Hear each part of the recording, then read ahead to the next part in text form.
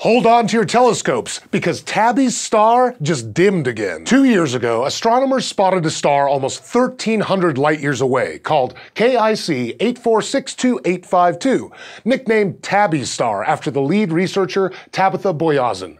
And it's been baffling them with its weird drops in brightness ever since. We see stars dim like this all the time when a planet passes in between them and the Earth, which is actually how we find lots of exoplanets. But Tabby's star randomly becomes up to 20 20% dimmer, which is way too extreme and unpredictable to be caused by a planet orbiting it and it seems to be getting dimmer over time. It seems like there has to be something orbiting the star, but we still don't have a great explanation for these mysterious data. So astronomers have been waiting to observe more dips in brightness to help develop their hypotheses. And last weekend, it finally happened again. Multiple astronomers reported that Tabby star was dimming, which sent researchers around the world running for their telescopes. This was the first time we were able to see the star dim right from the beginning in real time, and gather data with lots of different kinds of telescopes So it's also our best chance yet to try and analyze what kind of material might be passing in front of it. As of Wednesday when we filmed this, there haven't been any major announcements,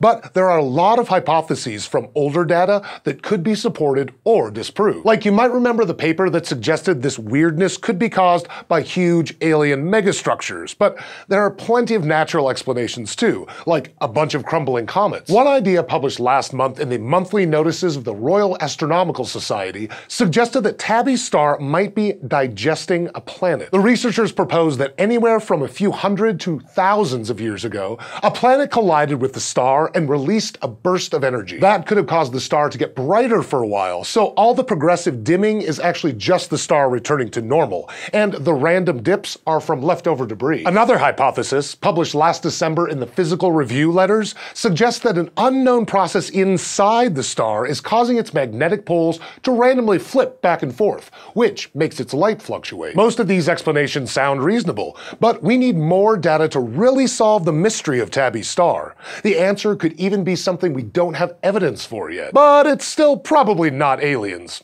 Sorry. Now, Tabby Star might be pretty weird, but the universe also has its fair share of strange planets. There are exoplanets where it rains glass, worlds with hot ice, and now there's KELT 11b, a recently discovered gas giant that's about as dense as styrofoam. The exoplanet was discovered by an international team of astronomers and citizen scientists as part of the KELT, or Kilodegree Extremely Little Telescope survey and their findings were recently published in the Astrophysical Journal. Even though their two robotic telescopes might be little, KELT 11b isn't exactly the smallest gas giant on the block. The planet, which is about 320 light years away, is almost 40% larger than Jupiter, but it's still only one fifth of Jupiter's mass. This means the planet is extra puffy and inflated, like styrofoam, and it's actually the third lowest density planet we've accurately measured. That big ball of gas could even sound cute, except for the fact that it's more than 1400 degrees Celsius on the surface, so, you know, there's that. We're not sure exactly what caused the planet to have such a low density,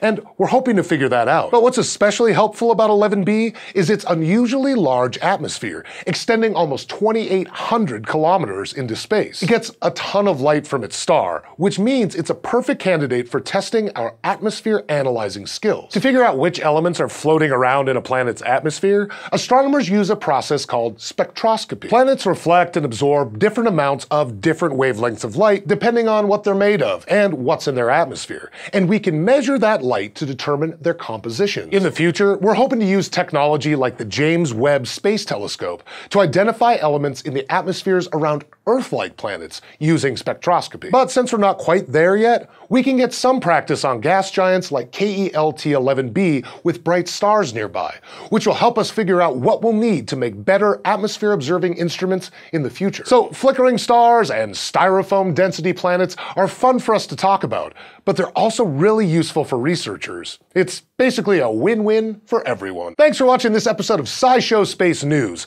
brought to you by our patrons on Patreon. If you'd like to help us keep making episodes like this one, go to patreon.com slash scishow. And to stay up to date on the latest news, head over to youtube.com slash and subscribe.